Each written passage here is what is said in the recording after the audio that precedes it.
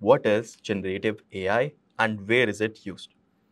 So generative AI refers to deep learning models that can generate high quality text, images, and other content based on the data that it was trained on.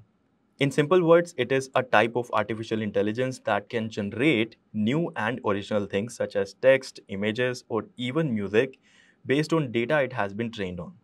And how does it do that? Basically, it learns the underlying patterns and structures of data with the help of neural networks to generate new and original content. Now let's see what they can do.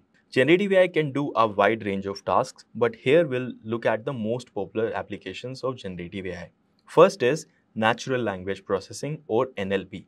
Here, AI is used for various uh, language-oriented functions such as text generation, language translation, and building chatbots that can engage in human-like conversations.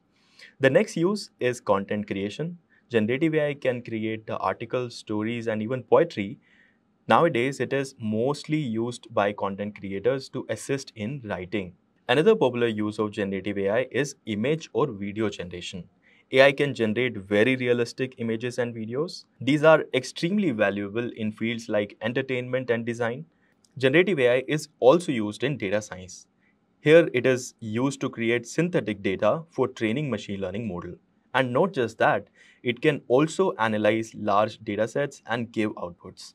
GenAI is used even in the health industry. It is used to generate medical reports, simulate disease progression, and many other things.